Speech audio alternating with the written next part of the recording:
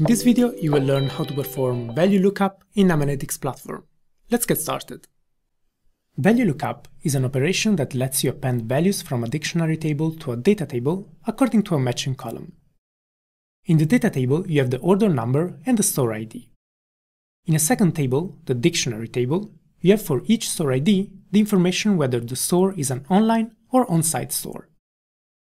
You can use the value lookup node to bring to the data table the information about the store type from the dictionary table, according to the matching store ID.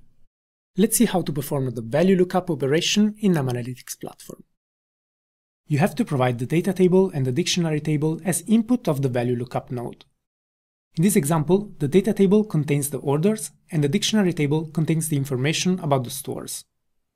In the configuration window, select the two columns that have to match.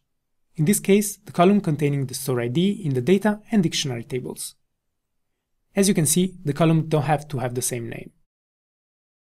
You can also select which columns you want to retrieve from the dictionary table.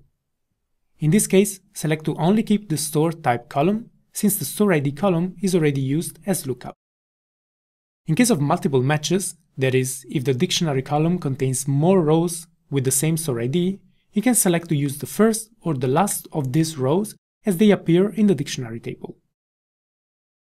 For the last row, the node outputs a missing value for the store type, since the store 0000 is not available in the dictionary table.